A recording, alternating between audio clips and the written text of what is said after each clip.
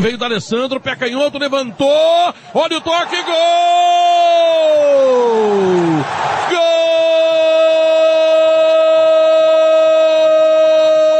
Gol! Rafael! Rafael Moura para o Internacional. E ele vem na beira do campo e mostra a camisa do Fernandão. Aí leva o torcedor à loucura.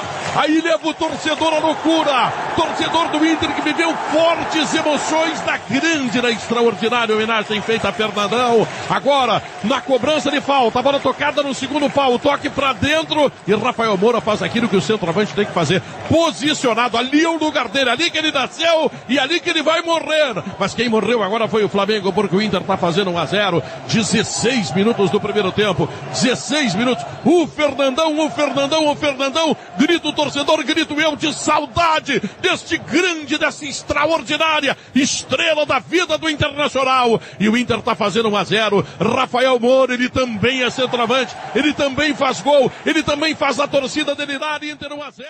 Lucas não cortou, ficou pro meio, levou pro meio. Wallace dá o carrinho pênalti.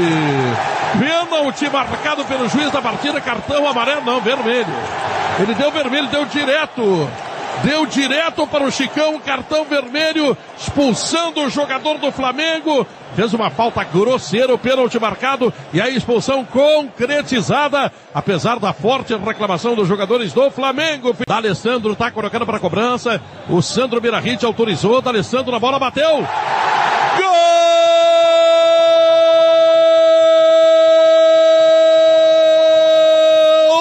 Alessandro. 48 minutos. Cobrança perfeita. Quase lá no ângulo, um pouco mais do que meia altura, longe do Felipe. O Inter está fazendo 2 a 0.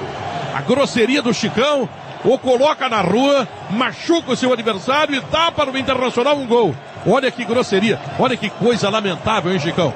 Por que, que tu não tapa a cara de vergonha? Inter 2 a 0, a festa é colorada. Da Alessandro é o nome do gol. E tudo é festa do Beira Rio, que de novo, depois dos cinco inesquecíveis jogos da Copa do Mundo, volta a ser de você, torcedor colorado. Lançamento pro Dali, completamente livre. Lá vai o Castelhano, chegou ao lado da área, levantou pro Fabrício, pumba!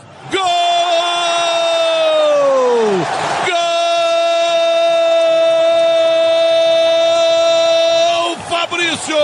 Golaço, golaço, golaço. Que beleza, que pintura. É para Beira Rio remodelado. É para tarde de sol, sol iluminado domingo do Beira Rio. D'Alessandro saiu pela direita. Mancada foi do André Santos, né? Entregou a bola.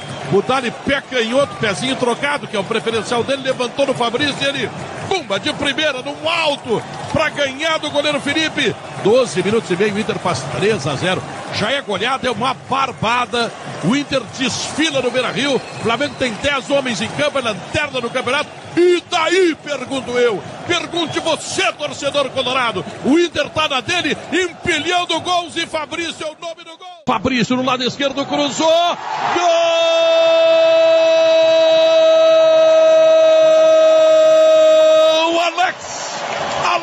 Rafael. Cruzamento da esquerda. O Alex entrou que nem um bólido, né?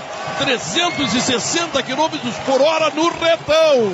E aí mandou para dentro do gol. Um tapa na bola, forte, definitivo, vencendo o Felipe. 4 a 0 para o Internacional, 33 minutos. Voltando ao time, depois de um longo e tenebroso inverno, hein, Alex?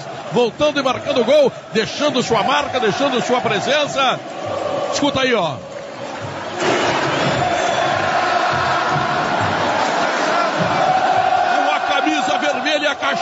Na mão, o torcedor faz festa.